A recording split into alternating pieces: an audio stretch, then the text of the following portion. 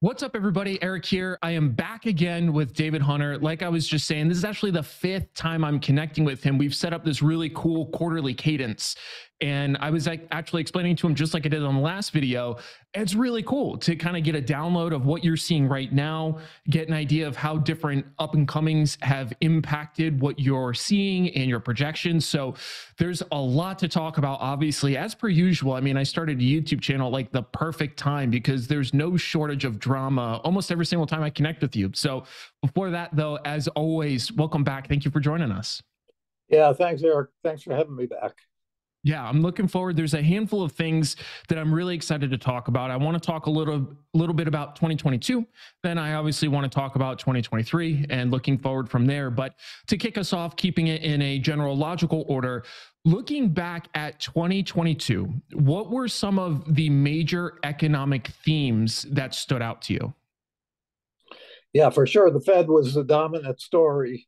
Um, and before that, Ukraine. I think we came into 2022, I had expected a correction and and then a, a, quick return to new highs. You know, maybe spend a quarter in correction and then go.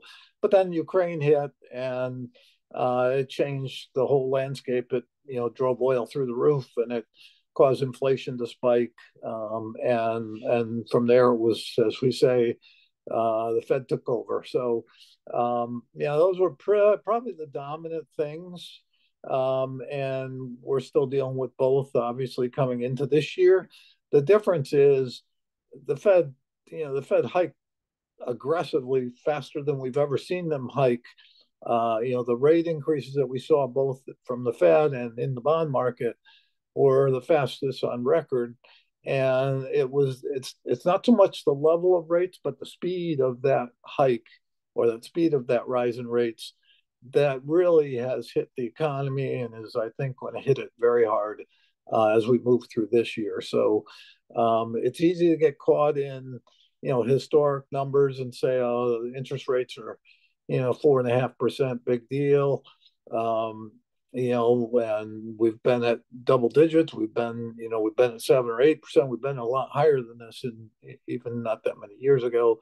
Um, but it's that rapid rise from almost 0% rates to where we're heading for 5%.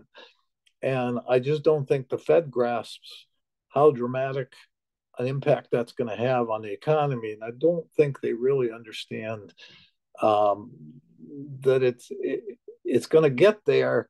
It just doesn't get there all at once. So if you're looking at data and saying, "Well, we're not seeing the damage. We don't think it's so bad," I think they're going to be very surprised that all of a sudden they're going to see the damage and it's too late.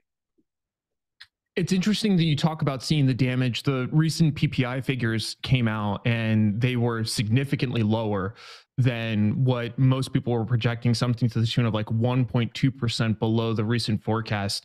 Do you think that that's part of that coming to fruition where we've had this really aggressive cycle and now we're starting to get to the back end where it's almost like the inverse where some of these metrics are just contracting so fast and i'm is that what's happening here or are you seeing something different no, it is what's happening. I mean, we we are, uh, you know, even since last summer, I've been talking about inflation coming down a lot faster than and coming down a lot sharper than the Fed understands or than a lot of people understand.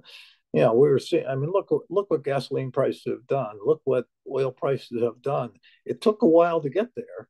You know, I was beat up because I was calling for, you know, oil to fall back into the 80s and then lower than that and you know oil was still up in the hundreds and they're going you're you're looking the wrong direction.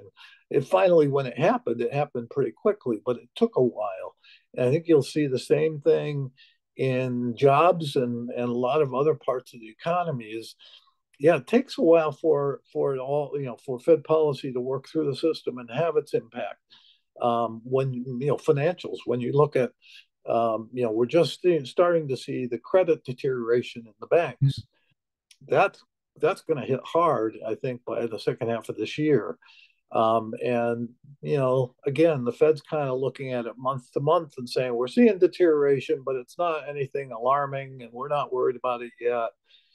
The problem is, but you know, policy works with such a long lag that by by managing policy that way, you're guaranteeing you're going to be way late. So yeah, I mean PPI did not surprise me, uh, nor did CPI. I mean I think we're we're at that point where you're finally going to have year over year numbers, you know, because the numbers a year ago were were high.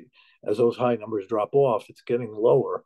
Um, plus, if you look at, you know, I follow obviously commodity futures a lot. You know, look at what you're seeing, as I said, gasoline, but look what you see in lumber prices.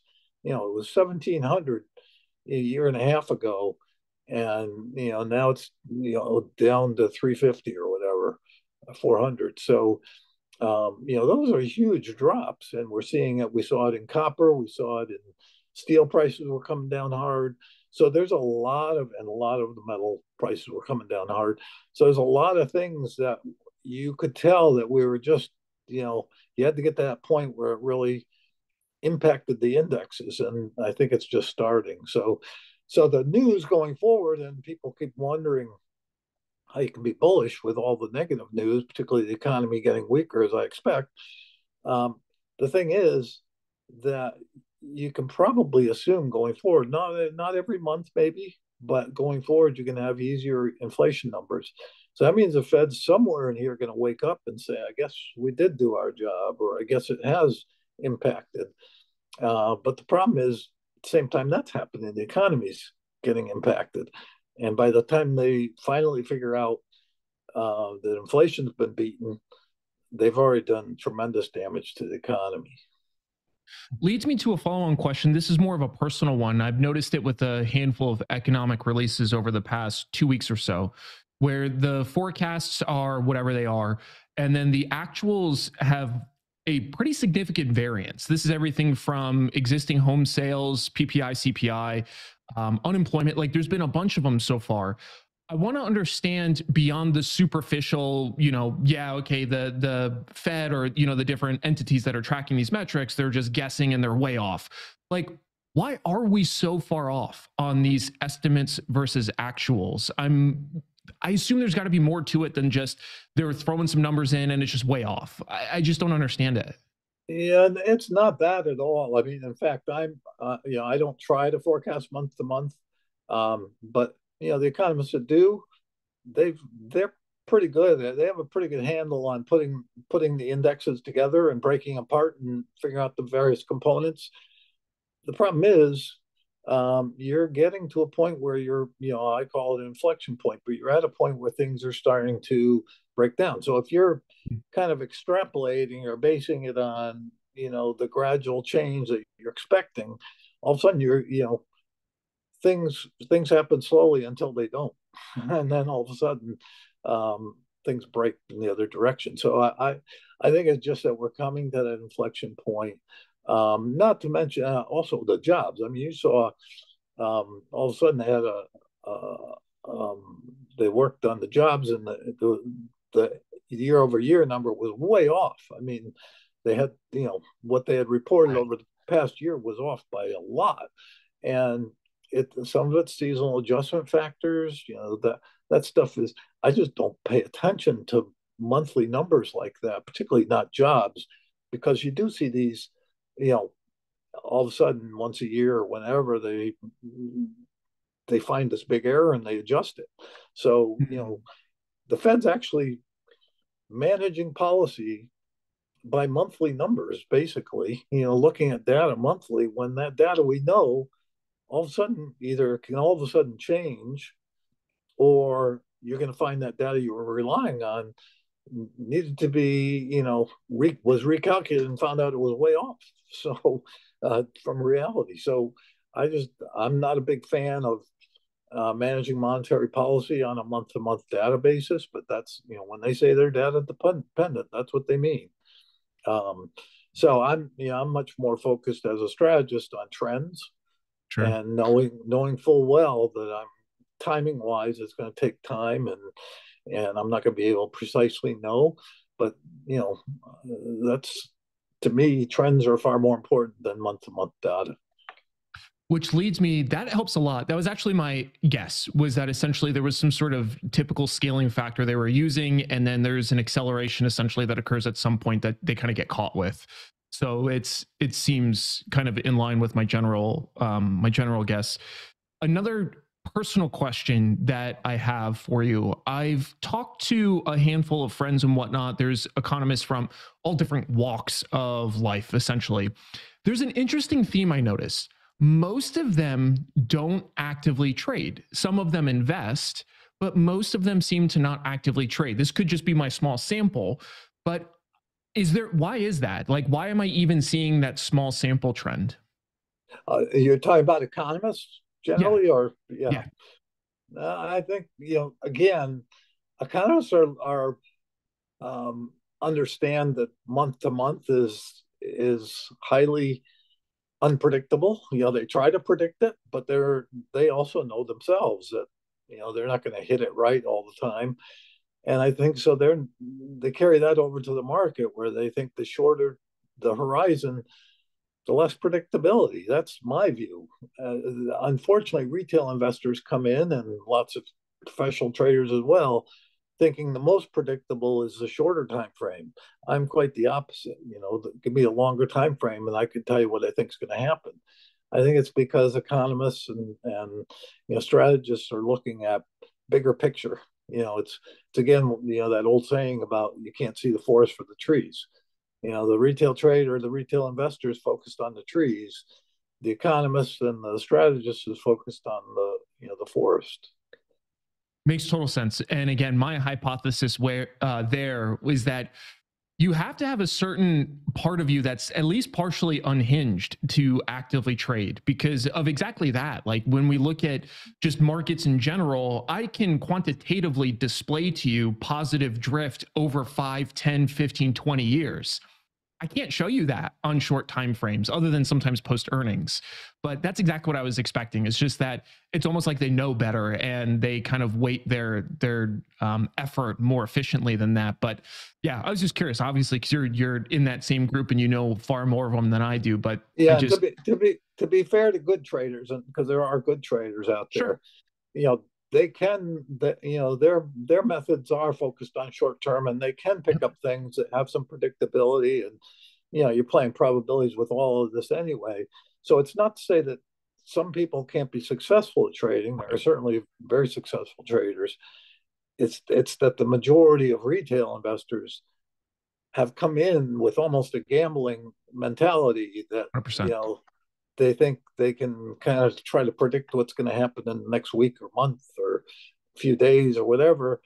And the odds are they're not even understanding the relationships you know the the, the leads and lags the, the discounting nature of markets and the fact that what they're focused on they may be judging it based on news and that news may have been discounted a while ago. So there uh, that's why i think oftentimes investors are confused when they say well, we got exactly what we were looking for, and the market went down. How come? You know, well, it's because it's you know, less times it's buy the rumor, sell the fact. You know, it's so there's a lot of that too that goes into investing. Is understanding that markets are discounting something in the future. You know, markets can be discounting six to nine months out. That doesn't mean right. they aren't uh, adjusting along the way, but um, you know, thinking that today's news is today's market, I think, is a big mistake. It's a really, really good point. It's actually something I talk out against a lot because I see people do that with earnings a lot. So obviously, I'm a derivatives trader. I trade a lot of options, and people will say, "Oh, they they missed earnings. Why did it rally?" Yep. And it's you know that exact force you're talking about. Another question I wanted to dive into with you because from a militaristic standpoint, I have a general concept of, you know, essentially Russia invading Ukraine and the implications and I also had a, a fair idea of, of the economic implications at the time of with natural gas, wheat, things like that. Now that this is like still going on, it's a pretty prolonged engagement. Are there any like longer term implications of this that me focusing on the trees, I'm missing from the forest? Ask that again. I'm not sure. Yeah, sorry. Um, I'm primarily curious about Russia invading Ukraine. When it first happened, I was able to come up with a couple themes. I understand the natural gas aspect of things, the food aspect, those kinds of stuff, especially coming into the winter. But I'm wondering since this has been a pretty prolonged engagement, the market, in my opinion, probably has synthesized a lot of the implications of this.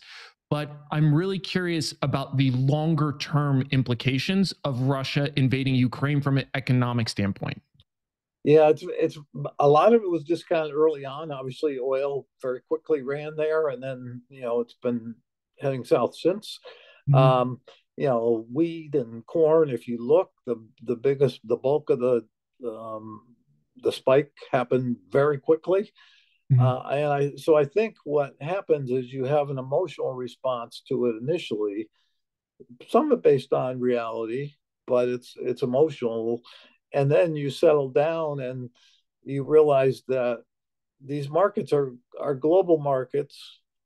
The oil is fungible; it can find its way, even though um, you know the oil may not go from Russia or the natural gas from Russia to Germany anymore it's still out there and it, it may go to somewhere so let's say it goes to india or china. Mm-hmm. they that means they may um, not need some of the oil they were buying from other sources. So that goes somewhere else. So you know these are global markets and that the you know the resources it's a global demand story as well. So some of it is that that softens some of the you know what would otherwise be aberrations or or um, you know uh, alterations to what the normal landscape is. Um, and some of it is i think we just don't know. I mean you can discount things uh, based on probabilities to some extent but as this drags on you know i get people constantly saying well how, how does you know what if ukraine does this or, or what if russia does this or right. this happens what does that do to your forecast? And I generally don't answer because it's like, right. How I can't you know? forecast that. You know, I'm, right. I'm not going to play hypotheticals that I can't forecast. I can get, you know, the minute I say that, then you're going to say, well, okay, so you're, you know, you're changing your forecast. No, I, you know, you know, war's tough to know what, you know, you can't predict what, particularly with with Putin, you can't predict what how long he's going to go on or or those kind of things. What I can do is look at the markets and see the impact that's had so far and say unless something dramatic changes yeah i think that's already discounted. That makes a ton of sense. And on that same thread is that why we're seeing natural i'm i personally am surprised that natural gas has contracted as much as it has in price. It's gone from like 10 and change um, towards the end of last year now it's down at like three is yeah. is it because of those alternate sources essentially are finding their way into the global market? It's some of that. Obviously, um, you know, the storage was done ahead of time, so all the doom and gloom is really, you know, we we knew they they had filled their storage tanks that, that you know Germany and, and Europe were pretty well prepared for this winter. What what happens going forward is a, a bigger question mark, but it's it is some of that that you know the markets are fungible. It's also, I think, um, at least it feeds into my view that you know there's a lot more damage being done by these central banks underneath the surface, and that it's gonna it's impacting demand. You know, two two things impact demand. One, when prices run up, people people uh, start using less of something um, you know, so when gasoline prices went to five dollars, um, you know, driving became somewhat, you know, people were more careful with their driving. They weren't planning as long trips, etc. Um, and and the other thing that impacts it is the economy. And if the Fed's overstaying its welcome on the tight side, the economy is getting weaker. And and I think is that's you know you know I'm calling for a global bust later this year it's not that we're going to be fine until we get there. We're going to be in recession, and then recession goes into global bust. I think that's true of the world. You know, the world's demand for these items is being impacted by central banks who are focused on yesterday's problem. Yesterday's problem was inflation. I think tomorrow's problem is deflation, and they haven't recognized it yet.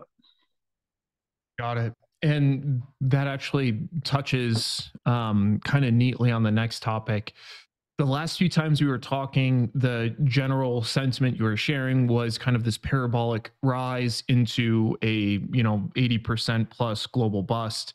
And over the different times we've spoken, there's been different catalysts that have intervened and essentially just your analysis of that. So it sounds like that's still generally your forecast here. Is that right? And if so, can you just walk me through what you're seeing? Sure. Yeah, my view has not changed at all. I think we um, saw the end of the bear market on October 13th when uh, you know the CPI came out. The market uh, went down below 3,500 in the first hour and reversed quickly. And we haven't looked back since. We, you know, we haven't seen 3,500 since then. Um, we've we ran up to 4,000. Uh, we're right around that 200-day moving average, and it backed off um, to you know before before um, let's in December we we backed off to 3,800 and mm-hmm. then in January, we've run back up to that 4,000 area and backed off to 3,900. I suspect we are ready to break through the 208 moving average probably next week. I mean, we've broke, you know, we broke through a little bit before we backed off, but I think decisively break through it next week and probably see 4,300 pretty quickly. And not that long after that, 4,600. That's kind of where I am in terms of the more you know near term, intermediate term. I I don't pretend to put as much faith in my short term stuff, but sure. I do think we're probably ready to ramp up here, and that's uh, kind of ironic in that um, everybody's thinking we're on the verge of a meltdown. You know that we're we're going to see three thousand very quickly, not not see a, a move up. So I think if we if we do see what I'm I'm expecting here, it's going to cause a lot of because um, there's there's a large majority of um, both market analysts and investors that are expecting down, not up, and thinking that we're you know we're this bear market rally is almost over. And I'm saying no, this is the beginning of the bull, next bull leg, um, and that we will push through here. And once we push through that 200 day with any um, oomph, any decisiveness, it will cause at least some of those bears to begin rethinking and saying, hmm, I'm, I'm, not so sure this is a bear market rally anymore. Many will stay to a bear market rally, but have higher targets. You know, say, okay, well, it's going a little higher, but you know, it's not it's not off to the races. But ultimately, I think that's what we're going to see is you're going to have shorts having to cover. You're going to have people allocated to bonds having to reallocate to equities, and I think that's what you know the first quarter and probably the first half of this year is going to be about is you know we spent much of 2022 with people reallocating away from equities uh, becoming you know as they became more and more bearish and in a fairly concentrated few months i think a lot of that allocation that reallocation that happened over say nine months um, could could be reversed in say three months. And that's why i can talk about such a big move is i think we're going to have a very illiquid rally um, or or bull leg, if you will, uh, because I think it happens in a more concentrated period of time. You know, the down happened over nine months. The up happens over, let's say, three, four, five months. So it sounds like there's a couple primary catalysts that would drive this move for you. It seems like some of it is the inflation data continuing to show some cooling, which might put some wind in the market sails. It sounds like you were talking about um, shifting of broader institutional capital from risk off into more risk on, trying to catch the move. And is are those the main catalysts that you're seeing that would drive kind of the move from like 4,000 to say 46? Well, those are the mechanical catalysts, I guess. You know, the it's um, you know position repositioning um, and flow of funds is obviously going to be important to any any market rally. Um, but the catalyst might be a weak dollar, you know, the dollar breaking down mm. further. Um, the catalyst will be, you know, the 10 year going from, you know, 340 to say 250 in the next few months uh, as as the weakness in the economy becomes better known. And probably the biggest catalyst is going to be it's it's why I've kind of um, not been worried about what everybody else is worried about is we're no matter what you think in terms of how many more hikes there are or whatever, the bulk of the Fed's tightening is behind us, not ahead of us. and, and you know we can we can argue over how many more hikes there are going to be, whether it's two more quarter point hikes or whatever. They can't ignore this weakness in the economy for much longer. You know what we saw in industrial production this this week, what we've seen in the ISM reports, what we've seen in the consumer. You know, it just they cannot just continue to say, "Oh, our whole focus is on um, jobs uh, we don't believe inflation's beaten yet, and we think the stock market has to go to 3,000 before we can ease. I mean, those are ridiculous statements or ridiculous ways to approach policy. And I don't think they're going to be able to ignore the weakness for that much longer. So, whether we get a quarter point hike in February and another quarter point in March, whether we get a half point and a quarter point, uh, I don't really care. I've I've said for several months now, the bond market's going to lead the Fed, and the bond market's already telling you that the Fed's gone too far and that it's time to ease. I was so, ask exactly that because I, I follow the bond markets pretty closely, and it looks like already the latter half of this year they're looking to price in essentially lower rates. So, what, what what's the defunct there? Why are those two so decoupled? Well, this is always true. I mean, the the that's why I don't like the the Fed um, targeting the stock market, and that's what essentially what they're doing is saying we're going to we have we have an opinion on where the stock market should be, and we aren't going to stop tightening until we get it there.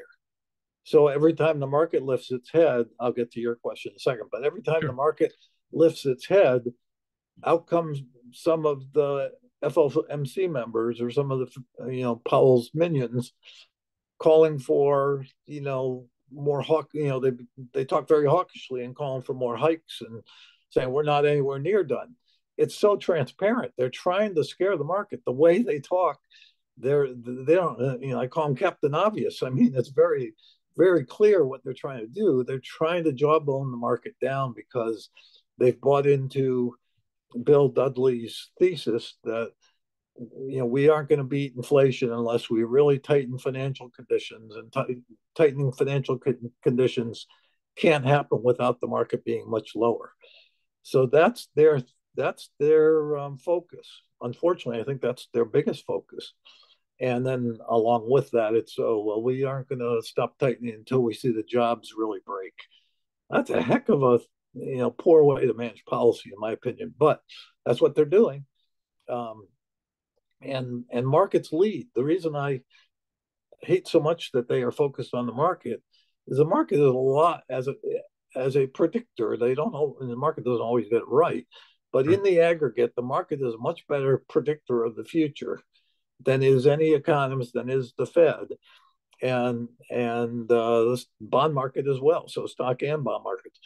And I've said really since early in 2022, in January 2022, I was making statements about um, the bond market will lead and the Fed will follow, and uh, that's exactly what we're seeing. So, so the 10 year got up to 430 and change, 435 or whatever it was, and is now, you know, down at 340 and was down at 335. So 100 basis points lower, and the Fed's still talking about higher higher rates. Well, I'll trust the bond market much more than I trust the stock market, or much more than I trust the Fed, because in the aggregate, the bond market has a, a, a history of seeing the future. As I've said, it discounts the right. future.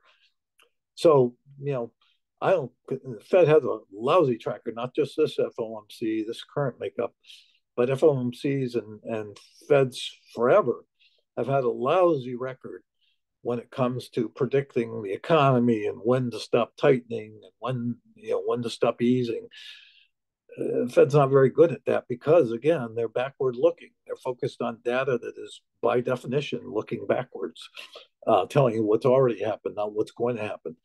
Markets are forward looking, and not not any one person, not any you know ten pundits, but in the aggregate, the market law of large numbers it's a discounting mechanism and it is discounting has a good track record of seeing the future better than than any forecaster so um, so right now you are if you were looking at the bond market you would say the bond market's telling you inflation's been conquered uh, or at least to a large extent, and that um, you know the economy is weakening, and that's exactly what I think. So, um, and meanwhile, the Fed is saying inflation has not been conquered, and we think we're we're engineering a soft landing. I mean, who who do you trust? I trust the bond market, um, and you know, stock market's a little different story, but the bond market basically is telling you that. Yeah, and, and I think that that's really my my point of confusion is exactly that is obviously the Fed can see that themselves. Is it are they just trying it seems to me that in a lot of ways the Fed is trying to maintain their cadence. They've been super steady ever since they decided that this was the path they were going to take. It's been almost every single Fed meeting the same story. Is it literally just that that they just don't want to change what they're messaging until it's exactly time to change because to me that's the part I don't understand is the bond market is already showing us this. I know the Fed can see it, but they're still messaging something that's so far away from that. That's like the decoupling that I just I can't understand. Yeah, it's a, it's a number of things. First of all, they got burnt. You know, Powell got mm-hmm. burnt by being late to the game. He he you know he thought inflation was transitory, and he argued that uh, into this year, and then got caught you know, flat footed when it took off. So, and, you know, there are lots of people criticizing him for that.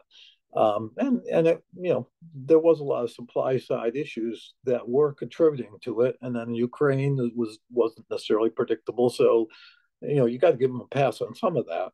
Sure. But I think he took that criticism to heart. And again, it's human nature. And now he's doing the exact opposite. He's, he's saying, well, I don't want to get caught in that place again he doesn't realize the place he's going is going to be even more criticism and, and I think more dire in terms of its its impact. Um, right. But so it's partly that. Uh, it's partly history does show that inflation, um, if you if you uh, back off from fighting it too soon, you can get caught saying I shouldn't have done that because you know it yes, it came down, but then it reversed quickly, and now I'm I've got an even harder job trying to rein it in again. So you know, some of his legitimate worry that if they if they stop short, they're going to make their job even tougher, and and you know, and then don't forget, there's a cost to this. If if inflation isn't conquered and it does break out to higher highs, interest rates are going a lot higher Mm. And we have a government with, you know, massive debt that it could it could afford maybe at two percent, but is going to have a hard time affording at five or six or seven or eight percent. I mean, that's part of my story for later on in the decade. But um, you know, they they are there are legitimate reasons for them wanting to fight. My my only contention right now is that I think they've gone too far. Uh, right. Uh, that you know their worries are the wrong worries right now. Like I said, I think um, you look at the inversion in the yield curve. Uh, you look at you know what's happening in some of the commodity prices like lumber, and you if you know um, leads and lags the way I do, you're seeing all the evidence you need to see to say deflation is a risk, not inflation, and they're just not there yet. Um, but I think the next few months, it's going to be hard for them not to be there. They probably aren't going to be in the deflation camp, but they they may get to the point where they say we at least have to pause because it looks like we've done some damage here. We have to pause and see how much damage we've done or how how slow the economy is getting. So uh, you know, people again want to focus on pivot and I go, I'm I'm not even my my aggressive stock market forecast is not based on a pivot. They could or they may pivot. Uh, more likely, they pause, um, and that pause is going to be a big. That's going to be received in a big way by the street. Sure. You know, if yeah. if because that what does a pause mean to the street? A pause means they've finally woken up and and understand that you know they may have gone too far they aren't ready to say they have gone too far but they've at least and in the streets mind it's going to be tightening's over of course and that's Absolutely. you know that's that's when bottoms and markets happen so that's when you're going to see that uh, instead of a stampede for the exits, it's going to be a, a, buying stampede. You know, in, in, in, bear markets, you get this, you know, somebody yell fire in a crowded theater and everybody's running through the same exit, and that's why prices drop quickly. In this case, it's going to be the reverse of that, where right. if if if everybody if if the Fed pauses, you're going to have an awful lot of people who are on the bear side reach the same conclusion at once, which is, gee, Fed tightening may be over. This is the time to buy. Uh, and then you'll see how liquid this market is. I think from a at least a trader's perspective, I could not agree with you more on that. Even the last few Fed meetings, they're already the market's already saying, "Oh, this might be the pivot. We might be pivoting." So I I completely agree with you. As soon as they see anything that looks even close to that, it's going to be a, a, broad capitulation. Um, we're coming up on I time. I just want but... to throw. I just want to throw in a caveat because this is, you know, just from my life on Twitter, I know this. Um, that does not mean it's straight up to six thousand. Right. You know, you're going to have stair steps along the way. You're going to have pullbacks along the way. But it does mean that all those people say, oh, 4,000 is as high as you're going, and you're going back to 3,000 or 3,200 or whatever it means more likely 4,000 the beginning of something take you, like I said, the 4,300, 4,600, maybe new highs. And where I think the real takeoff point comes, and you may pull back from there, you know, for a little while. Um, but the real takeoff happens, I think, once we make new highs in a decisive way.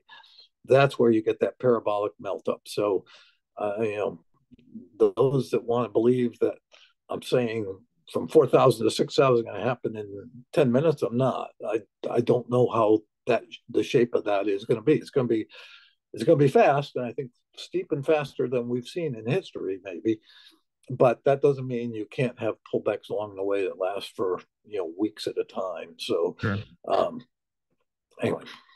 Yeah, it's. I think it's an important note. Uh, a lot of people, especially traders, we're known for our patience. So as soon as something doesn't immediately play out how we want, um, then yeah. Um, so we're coming up on time, but your your community always lights me on fire if we don't talk about precious metals. So I refuse to exit the conversation without asking your view on precious metals, which is actually, you know, kind of purposely placed this way, one for jest, but also because I've been trading gold quite a bit lately myself. And I just love your thoughts on that because the last few times you had a really interesting perspective on specifically gold. But yeah, what are your thoughts on precious metals as we sit now? Yeah, I'm I'm very bullish on the metals. I think they you know they've led this year. Uh, it may not feel like uh, uh, at times because they you know they ran up and then they correct, but um, we're seeing the both gold is is up at levels that we haven't seen for a while, yep. um, and and silver's uh, up, you know, near 24. I think we are going to see a very strong next six months in the metals, and um, you know, I'm continuing to call for 50 to 60, and and more likely 60 on silver, and 3,000 on gold, and that 3,000 may or may not be aggressive enough, but that's where I'm at. I mean, I, I think that may be good enough, but it's possible given the move that I see coming in silver. Gold could move even higher than that. So um, I think we have a big move in the metals coming. Um, part of it's the dollar, part of it's lower interest rates. Part, you know, a big part of it, I think, will be if you get if you get the feeling the Fed's done tightening, that's the most bullish thing you can tell the metals markets. You know, it's wind at your back instead of in your face. Um, and so I think that's all going to happen. The miners will be sympathetic ralliers with that, with some big moves. Miners typically in a in a bull market in the metals, the miners will outperform the metals. So um, you know you should have some pretty good moves in the in uh, you know gold miners and the silver miners as well. And by the way, is not just the precious metals. Copper looks great here. Um, it's another reason why it's a little hard to be negative on the market uh, because you know if we were if we were heading into you know the the real dumps copper would not be moving up like it is. So part of that is probably China reopening, uh, no mm. question. But uh, I think you know I've been calling for six dollar copper, and I was saying that last year when it looked impossible. Uh, copper was only going down, but I do think we're probably going to see um, six dollar copper. So Um, you know that that's another one that should do well. Even the steels look like they're waking up. So there, there's a lot, and, and I'll tell you, look where the Dow is. Dow's not that far off of new highs. You know, yes, the Nasdaq has a long way to go. The SP has a long way to go. Russell has a long way to go. The Dow doesn't have that far to go to new highs, and it's you know to me, um, industrials, commodities, all those things look like they're in play. I think it's really enlightening, especially to see kind of this broad orchestra of bullish movements. And as always, you do have some audacious targets, which are always fun to to keep an eye on and see how things play out. So first off, again, as always, absolute pleasure. Thank you for spending some time, you know, sharing what you've learned over decades with us. Where can people find you? I'm sure. Yeah, they can find me at Twitter. I'm I'm on there most days, getting you know, giving it out as well as getting it. So, um, and uh, it's uh, my handles at Dave H Contrarian. I want to just reiterate there are some people, particularly right now, that are out there using my name with a different handle, making it look like it's me. Sometimes even pretending to sound like me, but with some you know sarcasm in it, or you know trying to start fights, making it look like I'm trying to do that. So that's not my that's not my mo. Um, be very careful and look at the handle to make sure it's me. Again, it's at Dave H Contrarian, um, and so uh, be aware there are fake accounts there that uh, are not me. Um, and and I also write a um, investment letter that comes out quarterly. Uh, just had my most recent one come out. Um, and if people have any interest in that, it is a subscription newsletter, so there's there's a cost to it, but they can always direct message me on Twitter, and I'll be glad to provide um, information on that. Awesome. Yeah, that, that sounds great. I'll throw the links, you know, to your Twitter in the video description below. And uh, again, thanks for hanging out. I'm sure we'll catch up again in another quarter or so and see how everything's panning out. Yeah, sounds great, Erik. Have a good weekend. All right, you too. Thank you.